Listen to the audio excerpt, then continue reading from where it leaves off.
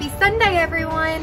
Uh, Miss Amy and I miss you and we love you so, so much. Um, we cannot wait for the day that we're able to gather back at church so that we can see everybody face to face. So last week, I asked the parents to prank their kids and let me just say, all of your videos were gold. Um, but this week's challenge, we're gonna do a mini scavenger hunt. So I'm gonna be asking you to find three things.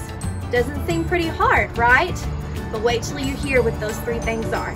The first thing is that I want you to find a rainbow in a box. The second thing is that I want you to find something that is fake, but that looks real.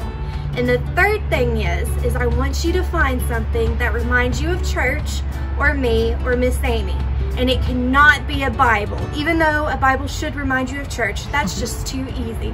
So I look forward to what you discover. Everyone, so you're probably wondering why I'm on the staircase this week.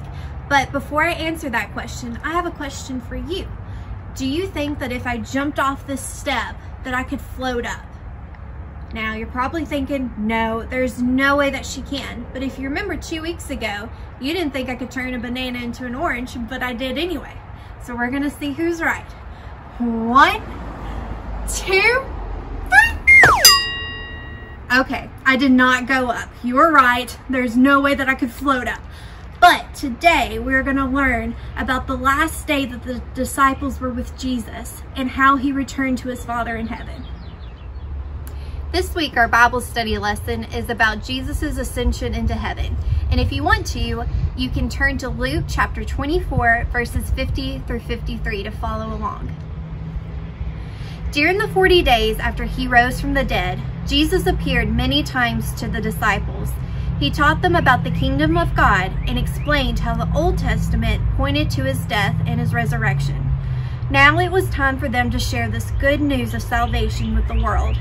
So Jesus commanded his disciples, who had seen it all with their own very eyes, to preach the gospel to everyone.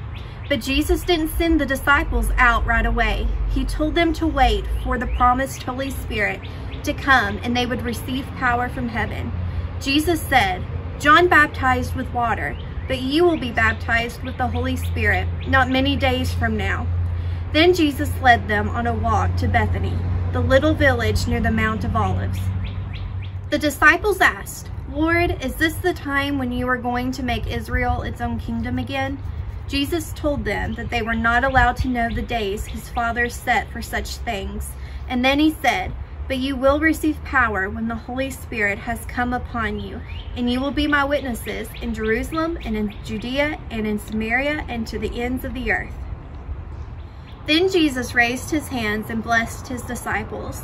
As he did, he began to lift from the ground. The disciples watched as Jesus rose up into heaven. Finally, far up in the sky, a cloud hid him from their sight. While they were watching, two men in white robes appeared. Men of Galilee, they said, why are you standing there looking up into heaven? This Jesus, who had taken up from you into heaven, will someday come back in the same way you saw him go. Then the disciples worshiped Jesus and returned to Jerusalem full of joy. They spent much of their time in the temple praising and thanking God for all that they had seen. Did you notice something different about the disciples in this story? Not one of them doubted. At first, Jesus' resurrection, the disciples doubted and didn't believe Jesus rose from the dead. But over time, they all came to believe. Finally, after watching Jesus return to heaven, they worshiped him and were filled with joy. We might have expected them to be sad about losing Jesus, but they weren't though. Jesus had promised to prepare a place for them in heaven and come back to take them there. The two men in white robes also reminded the disciples that Jesus would come back someday. Today, we are still waiting for that glorious day when Jesus will return. One day, he will come back on the clouds to the sound of a loud trumpet. Christians who are alive on that day will be gathered up to meet him in the sky. Welcome to another question and answer portion of our Bible lesson today. So just like previous weeks, Miss Amy will read the question and before you hear our answer, just pause the video and try to talk about the answer among yourselves first. The first question is, what is happening to Jesus in the picture?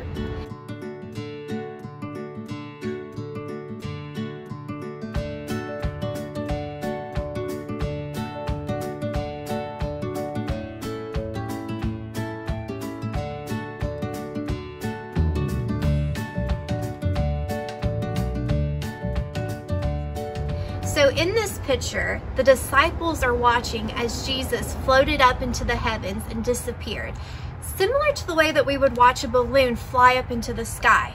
But Jesus would not leave them for long. Soon the Holy Spirit would come and fill the disciples. And because Jesus and the Holy Spirit are one, Jesus would be returning to them.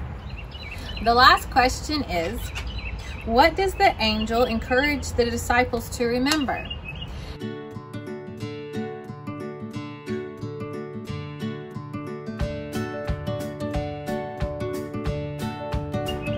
Two men in white robes, it says, two angels appeared to the disciples right after Jesus ascended into heaven.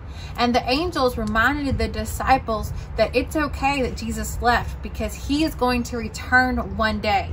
Now remember, the angels didn't say specifically when Jesus would return. The Bible tells us that no one knows, but that we can trust it because the Bible tells us it is true.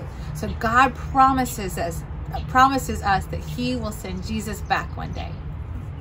We hope you enjoyed this video. Um, just like the previous weeks, turn in your pictures for the scavenger hunt to me by Friday. Friday is the last day as long as you get it in by midnight. And just as a reminder, the three things that you need to get is one, a rainbow in a box, two, something that is fake but that looks real, and three, something that reminds you of church or Miss Mary Helen, which is me, or Miss Amy, but it cannot be a Bible because even though Bibles should remind you of church, that is way too easy. And we hope to see you soon. Hope you have a great week. Bye.